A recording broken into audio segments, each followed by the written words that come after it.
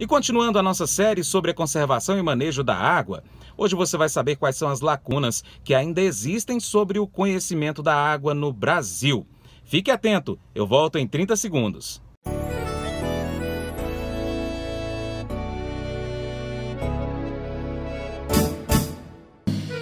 Acorda de manhã para prosear no mundo do campo, as notícias escutar. Vem com a gente em toda a região com seu programa Paracatu Rural. Tem notícias, informação e o mais importante, sua participação. Programa Paracatu Rural. Programa Paracatu Rural.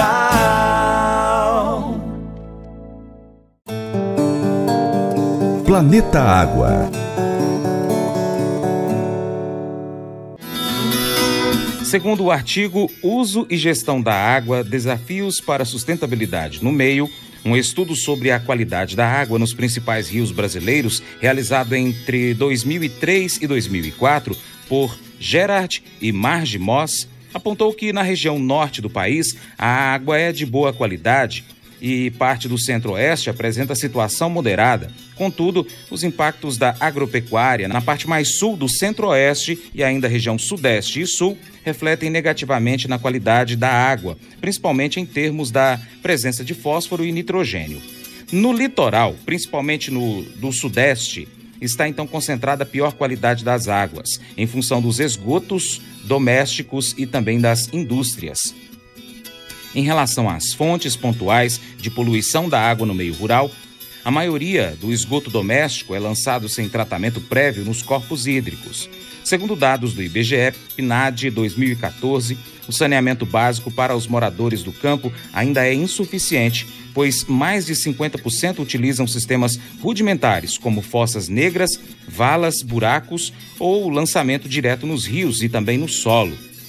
Em nossa série sobre a conservação e manejo da água, a pesquisadora Raquel Prado falou à jornalista Juliana Freire no Conexão Ciência sobre as lacunas que ainda existem sobre o conhecimento da água no Brasil. A gente pode avançar, por exemplo, é, tentando reduzir custos, é, por exemplo, do monitoramento né, dos impactos da, da agricultura na, na, qualidade, na quantidade da água no meio rural, é, disseminar mais essas tecnologias, adaptando também as questões regionais que eu mencionei, é, avançar com modelos, simulações e cenários que permitam é, ao tomador de decisão né, é, é, apontar soluções para o futuro com base no uso é, da água e cobertura do solo, uhum. manejo do solo, é, ferramentas também de é, valoração, né, tratar melhor a questão econômica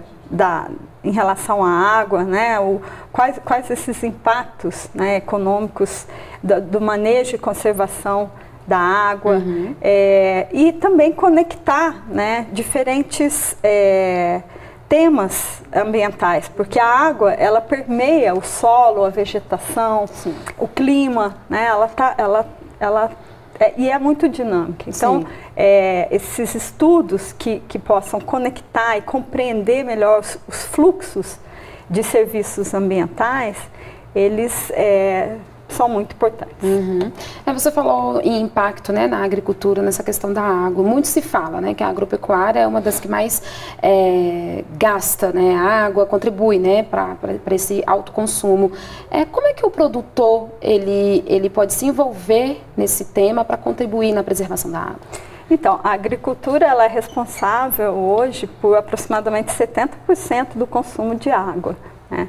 E no que diz respeito ao papel do produtor, é, é, é extremamente relevante né, que se tenham políticas e incentivos a práticas conservacionistas. Né? Ele tem um papel fundamental, porque grande parte da água é produzida, é mantida né, no meio é, rural. Uhum. Então, o produtor ele tem que ser é, ter o seu papel reconhecido e fortalecido enquanto conservador da Sim. água. Né? Então, é, hoje, um dos mecanismos para que se ocorra esse reconhecimento são, por exemplo, os pagamentos por serviços ambientais, né? um instrumento de compensação, havendo outros instrumentos aí é, cuja compensação não é financeira, mas ela ocorre de, de outras formas. Uhum, é o que se chama de PSA hídrico. É, você tem os PSAs em geral, pagamentos por serviços ambientais, uhum. que, que abrangem outros temas, como carbono, né, biodiversidade, uhum. aspectos culturais.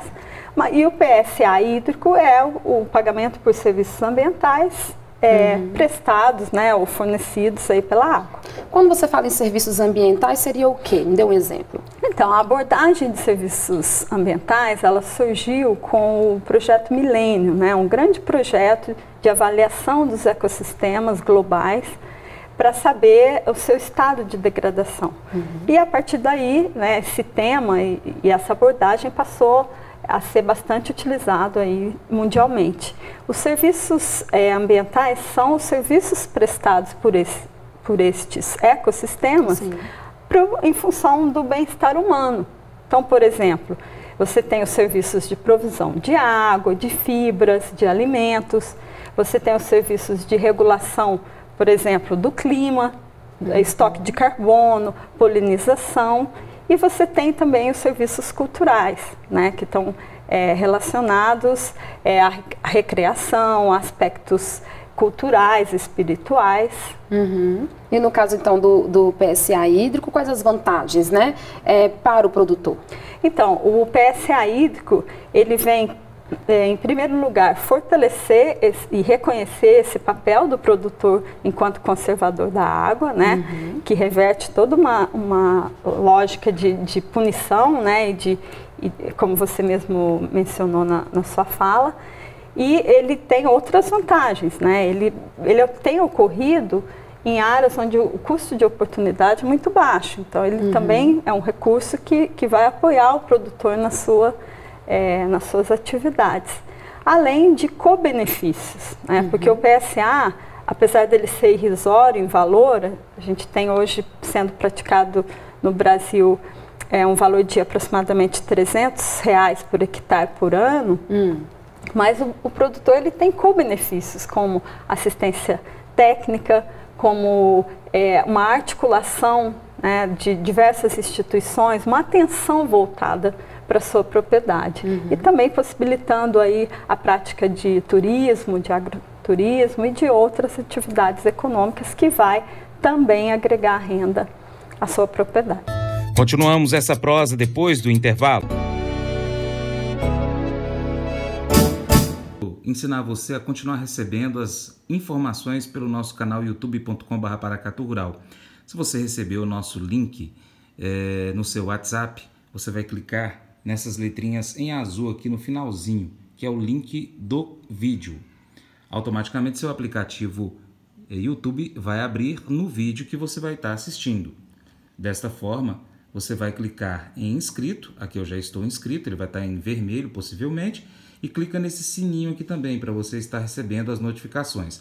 Quando você clicar em sininho, vai aparecer aqui, ó, todas personalizadas ou nenhuma. Então você marca todas para você estar recebendo todas as notificações elas vão aparecer no seu aplicativo e também na sua página inicial aqui, ó. Caixa de entrada vai estar aparecendo aqui as notificações, você clica e aqui você vai verificar os vídeos que a gente tiver publicado, ok? Obrigado!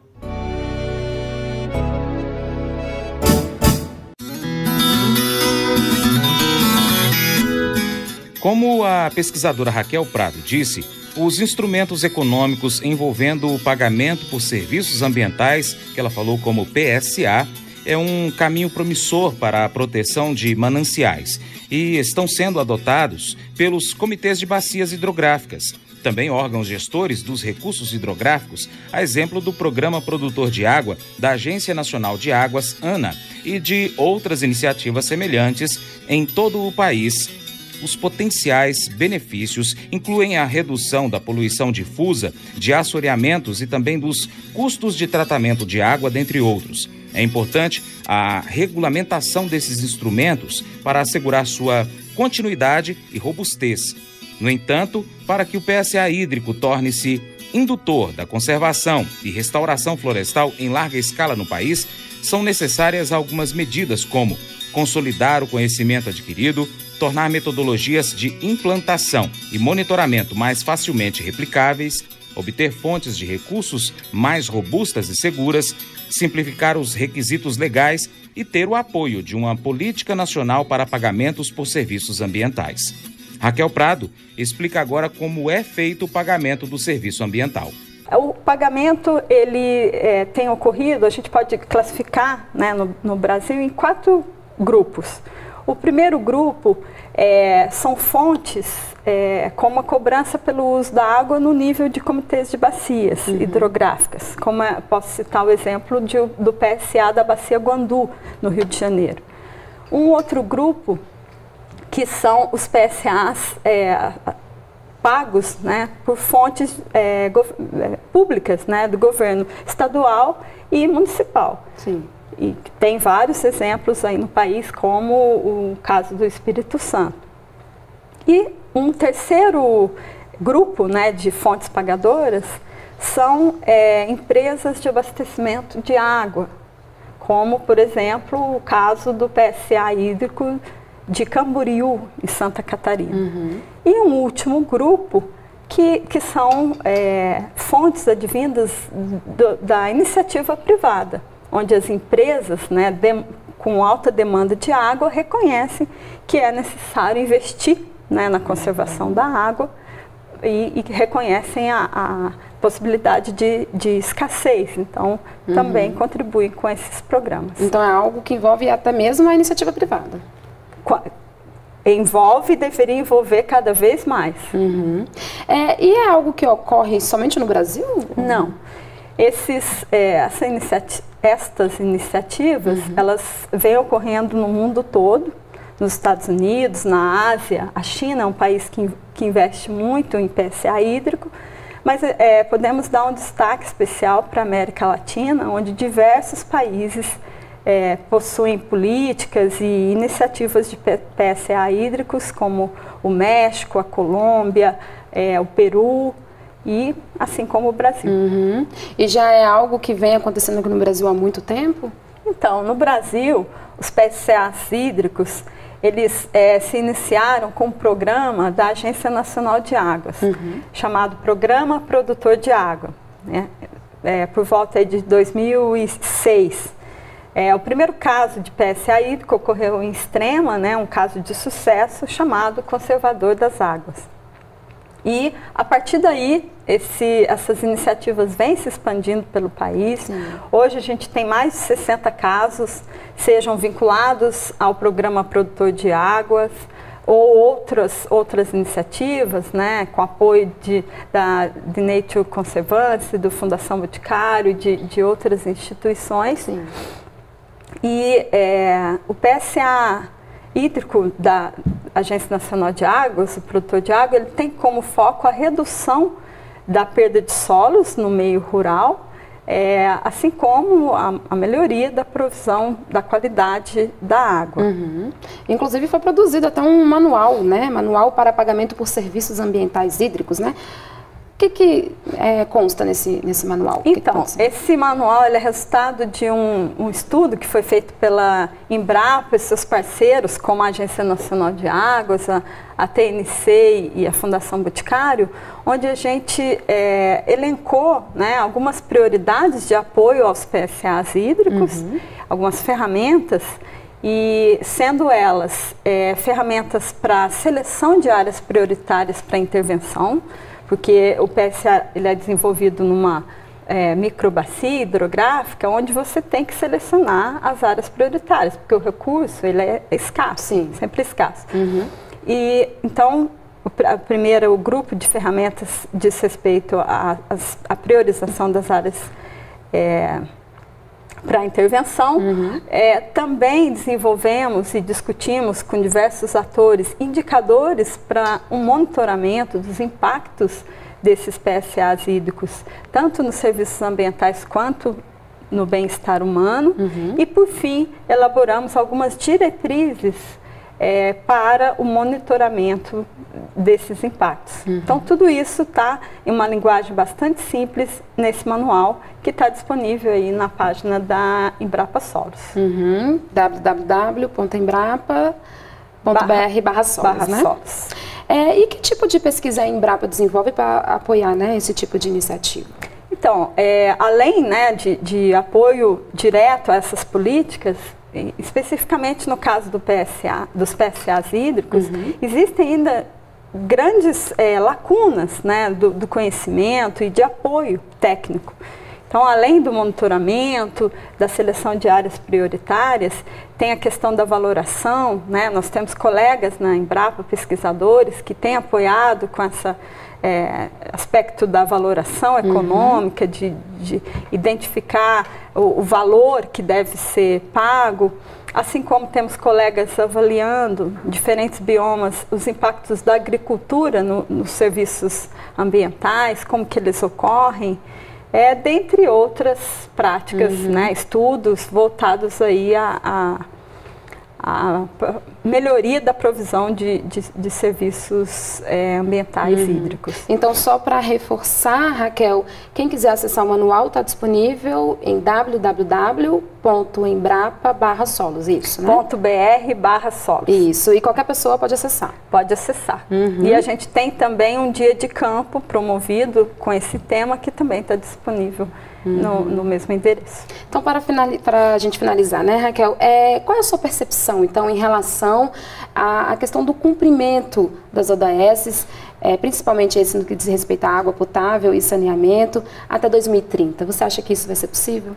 Então, eu acredito que é, nas políticas públicas, né, na necessidade não só de, da existência, mas da implementação dessas políticas públicas, uhum. que elas sejam mais integradas. Como eu disse, a água é um elemento que permeia outros é, recursos naturais, né, que, que se relaciona com com outros aspectos ambientais.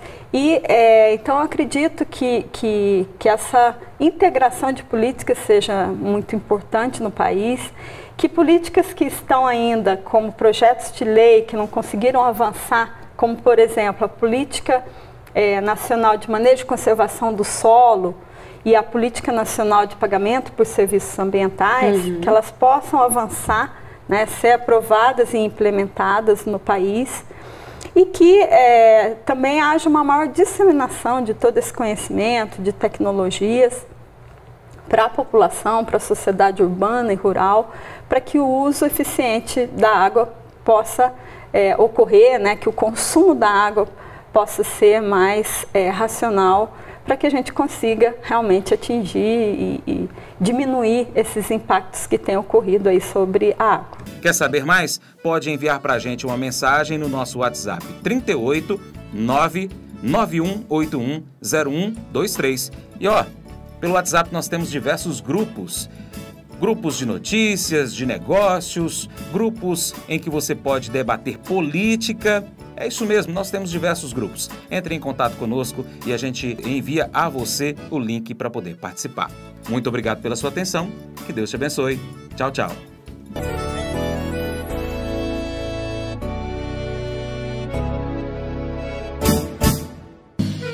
Acorda de manhã